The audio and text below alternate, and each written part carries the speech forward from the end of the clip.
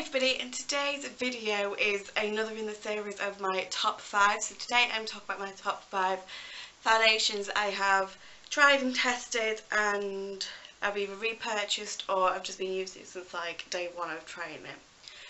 So I'm super excited so let's get started.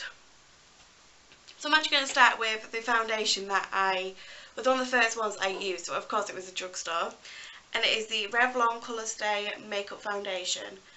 This I am in shade 150 Buff.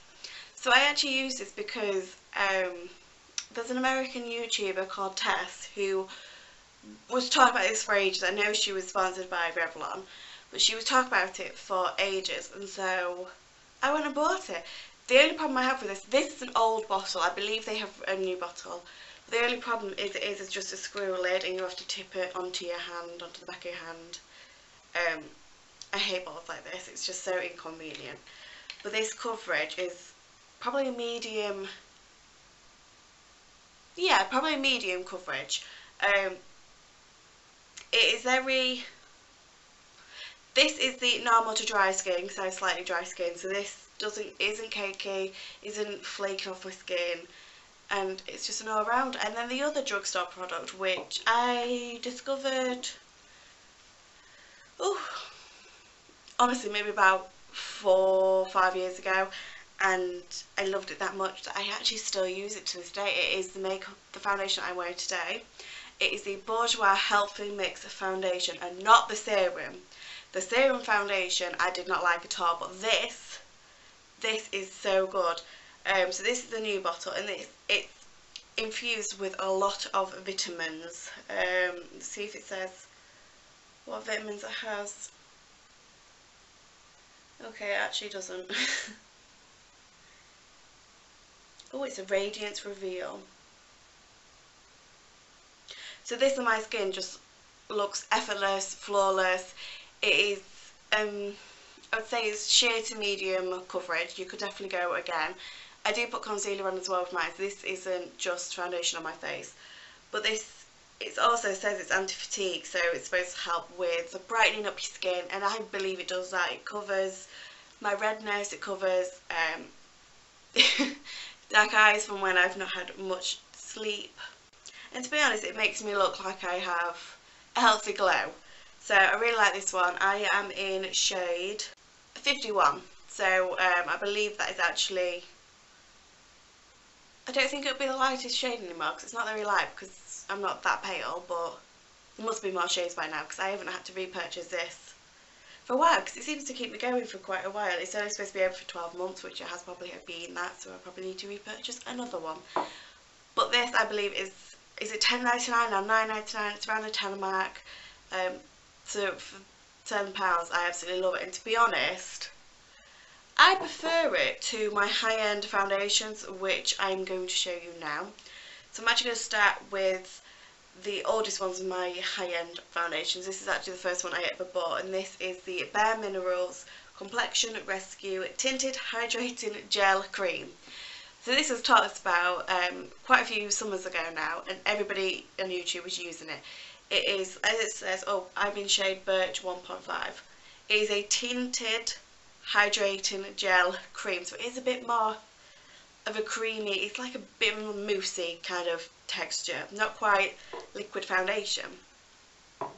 So you don't need very much of it and it gives you enough coverage just for the summertime. It doesn't run off your face if you're sweating. And I really like this. Um, I actually probably need it again. It actually says to apply it with fingertips, but I can't think of anything worse.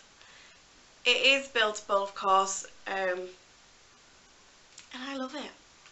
So my fourth foundation is the is from NARS and this is fairly new. This is the Natural Radiant Long Wear Foundation.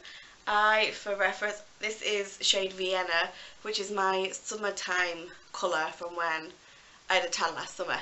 It is not my colour now and I don't wear it at the moment because of that. I'm waiting for my holiday to get bronzed up.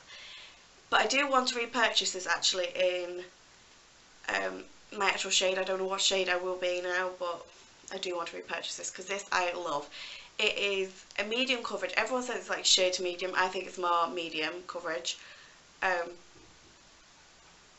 but it, it just makes me, like it says in the name, natural radiant.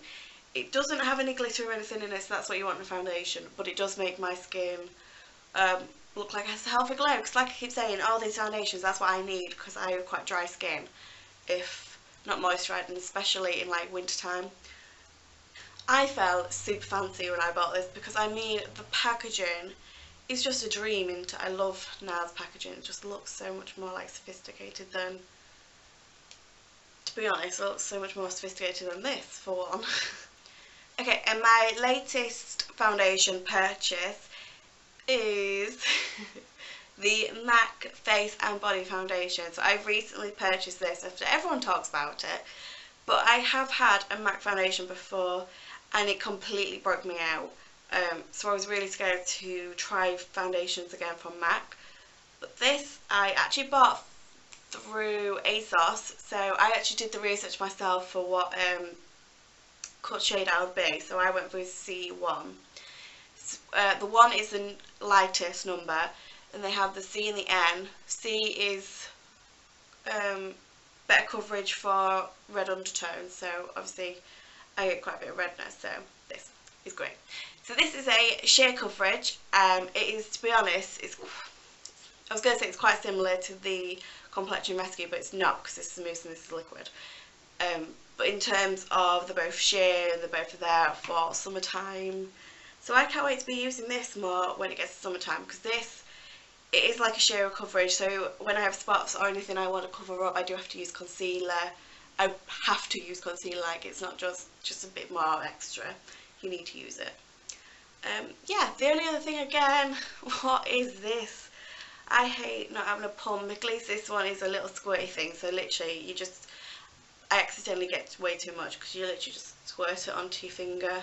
And this is the perfect match for me. Like I said, I had to research. I went on Pinterest, looked at all the swatches.